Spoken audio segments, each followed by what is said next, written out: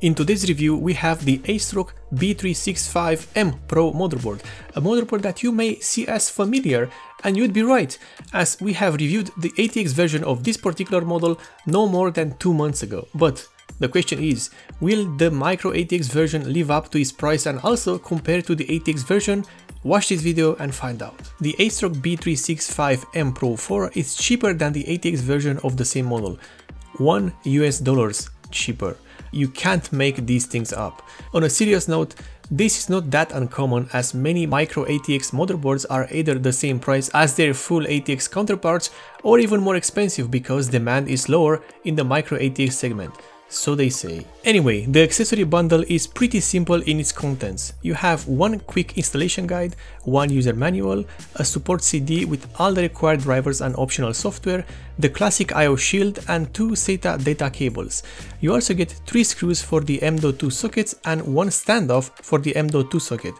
Basically, you have the essentials to get you going into your PC building experience and also to keep you going with those M.2 screws and standoffs. Not bad ASRock, not bad at all. Starting from the top, the ASRock B365M Pro 4 has an 8 power phase design, which I suspect is more likely a 6 plus 2 configuration, that is 6 phases for the CPU and 2 phases for the memory.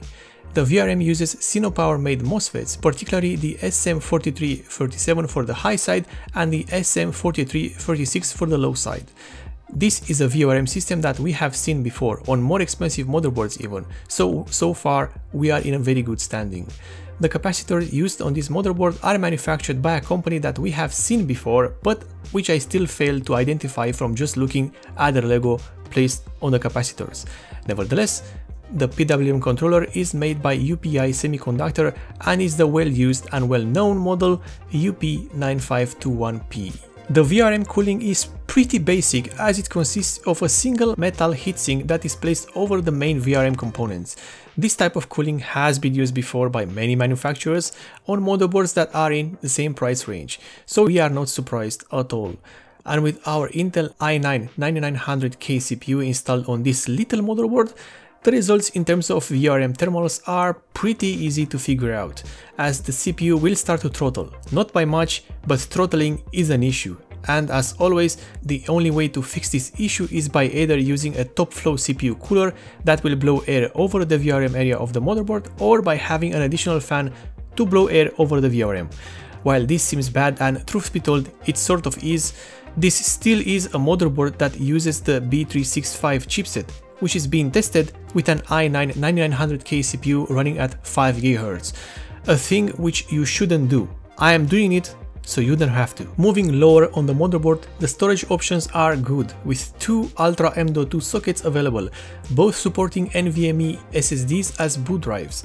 Only the top M.2 socket is covered by a heatsink however, but the lower second M.2 socket will benefit from the indirect airflow generated by the graphics card installed above it. There is also a small M.2 socket dead center on the motherboard. That is the standard M.2 E-key socket, which allows for the usage of a dedicated Wi-Fi or Bluetooth network card, which means one thing, that the ASRock B365M Pro 4 is Wi-Fi and Bluetooth ready out of the box, and you can use whatever network card you so desire. The standard storage options available on this little motherboard are 6 SATA 6 ports separated into two locations. Basically you have 4 SATA slots into the standard right side of the motherboard location and then you have two more SATA slots on the lower edge of the motherboard, right next to the power and reset headers. This is a great feature that I cannot wait to see be implemented on every single motherboard from today on, as it not only makes the cable routing easier, but also makes the used SATA slots easily accessible when the system is fully operational, because many times the SATA ports are completely covered by your graphics card. Other features on this motherboard include the metal reinforced PCIe Express slot, in this case only the main one close to the CPU socket is benefiting from the metal reinforcement. The main point of this feature is to prevent the damage of the actual PCIe slot caused by a heavy graphics card. This could happen when the system is being moved around, but more than often it is a design choice. And the second feature is plenty of RGB possibilities. The motherboard itself has no RGB LEDs installed. In fact, Come to think about it, I think it has no LEDs at all, but it has 3 RGB headers to control any of your RGB devices or components. From these 3 headers, two of them are the standard 4-pin RGBs and the last one is the newer style 3-pin addressable RGB header. This way, people that want RGB can always control all the RGB devices through the motherboard and people that don't want RGB, well, this motherboard has none installed and everyone's happy. At the back we have the I.O. panel which contains the usual ports. From left to right we have two USB 2.0 ports and a combined PS2 port which will take either a keyboard or a mouse. Then there is a single HDMI port next to one VGA and one DVI-D port. Alongside those, you have a single USB Type-C port and finally 4 USB 3.1 Gen 1 ports which also support ESD protection. The RJ45 LAN port uses an Intel network card and finally we have the audio ports. This I.O. panel is a mixed bag of old and new technologies with plenty of options available. Now that you know what this motherboard has to offer, we can get into the BIOS and I'm not going to go in depth in it and bore you to hell because well, it is the same BIOS as other ASRock motherboards, with the added bonus of the easy mode page which will help a lot of people that are just starting into the PC building and tweaking. Other than that, the structure of the BIOS remains unchanged, which is good, as a BIOS first needs to be functional and not just pretty. We start our performance testing with GTA 5, running at 1080p with all the settings turned to very high with vertical synchronization disabled. Here you can see that the ASRock B365M Pro 4 is pretty much at the same level as its ATX counterpart. In fact, this is going to be a trend throughout the entire testing section of this review, as these boards are very close. Nevertheless, the motherboard achieved an average frame rate of 149 frames per second with a minimum frame rate at 85 frames per second. The second game to be featured in our review is the Witcher 3 Wild Hunt, also running at 1080p with the Ultra preset selected and Hairworks disabled. The motherboard reached an average frame rate of 120 frames per second with a minimum frame rate of 71 frames per second.